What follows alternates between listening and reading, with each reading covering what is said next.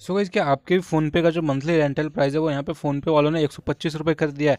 और अब आप चाहते हो कि जो इसका फ़ोनपे का जो मंथली रेंटल प्राइस है, वो आप भी अब एक रुपये करना चाहते हो तो आज की वीडियो में आप लोगों को बताने वालों कि फ़ोनपे ने कैसा क्यों किया है और आप कैसे दोबारा से एक रुपये यहाँ पे जो रेंटल प्राइस है, उसको अगेन एक रुपये कर सकते हो, ठीक है? आज की वीडियो में फुल मैं आप लोगों को यहाँ पे डिटेल में देने वाला हूँ, ऐसा क्यों किया है, ठीक है? क्यों किया है, ये भी बताऊँगा आपको ताकि आगे ना हो, और दोबारा से आप एक रुपये कैसे इसमें कर सकते हो।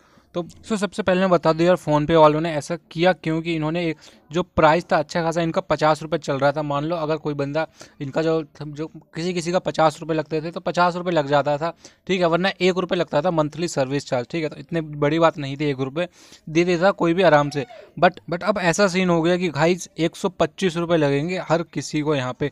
मैं आपको अगर मैं अपना दिखाऊँ तो मेरे खुद को यार यहाँ पे एक सौ पच्चीस रुपये लगे बट तुम्हारे भाई ने तरीका ढूंढ लिया कि कैसे आप एक रुपये में कर सकते हो।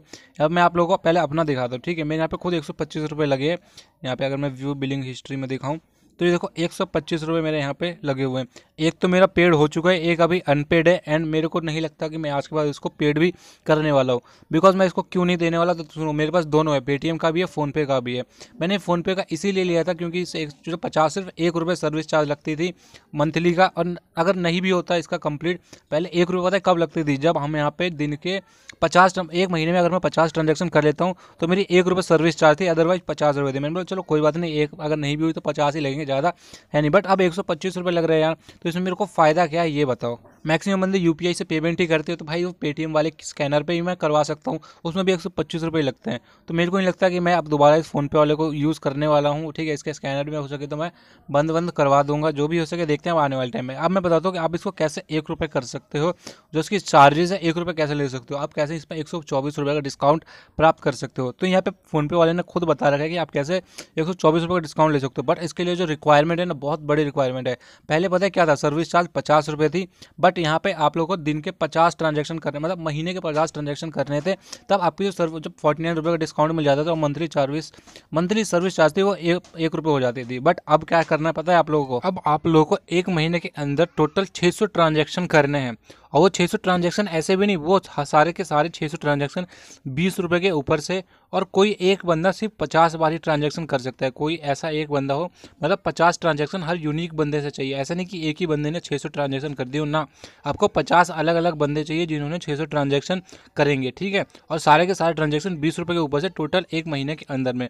अगर आप इतना कर लेते हो तो ही आप लोगों यहाँ पर डिस्काउंट मिलेगा एक सौ अगर आप लोग इतना नहीं करते हो तो भाई एक सौ देने के लिए तैयार हो जाओ। तो यार ये फेन फ़ोन पे वालों, ये कहाँ का सिस्टम है यार? अच्छा इतना ही नहीं, अभी और भी आगे, सर तो सुनो यार। शर्त की इन्होंने कमी नहीं रखी है। और ये जो ऑफ़र है ना, ये जो ऑफ़र है मतलब जो एक सौ का डिस्काउंट है, ये ऑफ़र भी सिर्फ़ आपको तीन महीने के लिए ही मिलेगा। ऐसा नहीं है कि आपको यहाँ पे हमेशा के लिए अगर आप छः सौ ट्रांजेक्शन करते हो तो आपको हो जाएगा। सिर्फ़ तीन बार ही आपको मिल सकता है, सिर्फ़ तीन महीने के लिए ऑफ़र ही आपको मिलेगा। बट वहीं पर अगर मैं आपको फ़ोनपे का दिखाऊँ तो फ़ोन सॉरी पेटीएम का दिखाऊँ तो पेटीएम वाला यार इससे ज़्यादा अच्छा है यार। ये तो यहाँ पे 600 ट्रांजेक्शन दे रहे हैं ना बट पेटीएम वाले ने यहाँ पे 300 ट्रांजेक्शन के लिए बोला है और यहाँ पे मेरे को एक सौ पच्चीस रुपये डिस्काउंट मिला ये जो कैशबैक ऑफ़र है हमेशा आता रहता है पेटीएम वाले में। मतलब हर एक महीना छोड़ के एक महीने में ये जो ऑफ़र है कैशबैक का वो आता रहता है। जिसमें मेरे को दो टू वन ट्वेंटी फाइव रुपये का कैशबैक मिलता है ठीक है? जिसमें मेरे को तीन सौ रुपये पे, पेमेंट करने होते हैं बट मेरे यहाँ पे पेमेंट हुए नहीं ठीक है? बिकॉज़ मैंने ये ऑफ़र बहुत लेट देगा। इसमें ऑफ़र में हमको देखना पड़ता है और एक्टिवेट करना पड़ता है। बट फिर भी यहाँ पे तीन मतलब पाँच छः दिन के अंदर मेरे यहाँ पे ये चालीस, इकतालीस पेमेंट हो चुकी है। बट इसमें भी एक शर्त यार, ऐसे बात नहीं है, ये पेटीएम वाले भी इतने अच्छे हैं, ये भी उसी खेत की मूली की जो भी बोलते हैं ना, ठीक है, उसी खेत की मूली है। तो इनको भी, इनका भी चार्ज है कि 125 मतलब पंद्रह रुपये दिन के आपको करवाने पड़ेंगे एक्स्ट्रा मतलब पंद्रह रुपये से ऊपर कहीं आपकी वैलिड मानी जाएगी और एक बंदा दिन में सिर्फ़ दो बार ही कर सकता है, बाकी नए नए बंदे करवाने पड़ेंगे। तो इसके भी वही ऑफ़र है बट यार इससे मतलब फ़ोनपे वाले से अच्छा ऑफ़र तो यार पेटीएम वाला निकाल रहा है, जब आपको एक सौ पच्चीस रुपये फ़ोनपे का देना ही है और चार्ज सर्विस के नाम पर आप कुछ नहीं देते। और वहीं आपका स्पीकर जो फ़ोनपे वाले का है, वो इंग्लिश में बोलता है, यार, आपको पता है कि यहाँ जो हिंदी यहाँ पे जो लैंग्वेज है वो बेसिकली बोली जाती है इंडिया के अंदर मतलब हिंदी सबसे ज़्यादा वो है। ठीक है? जिसको हिंदी में लेना है, हिंदी में लेना चाहिए बट ना इनका सिर्फ़ इंग्लिश का वेरिएंट वाला अवेलेबल है, हिंदी में अवेलेबल ही नहीं है। हिंदी में होने में पता नहीं इसको कौन सा टाइम लगता है, इसमें मैं कस्टमर केयर से मैं बात करूँगा, देखूँगा कि हिंदी में कैसे करवा सकते हैं, कैसे बोल सकते हैं। इसके बारे में जल्दी वीडियो लाने वाला हूँ।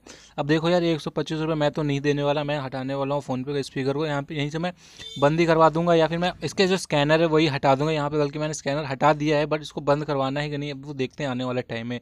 अब बाकी मैंने आपको बता दिया कि आप कैसे एक सौ का डिस्काउंट यहाँ पर ले सकते हो। वो एक सौ चौबीस रुपये का डिस्काउंट लेने के लिए आपको टोटल छः सौ ट्रांजेक्शन करनी पड़ेगी। पर ट्रांजेक्शन बीस रुपये से ऊपर से ही वैलिड होगी। होप आपको वीडियो अच्छी लगी। वीडियो अच्छी तो प्लीज़ वीडियो को लाइक ज़रूर कर देना चैनल पर नहीं हो तो सब्सक्राइब करके बेल को ज़रूर से ज़रूर मिलता है अली वीडियो में।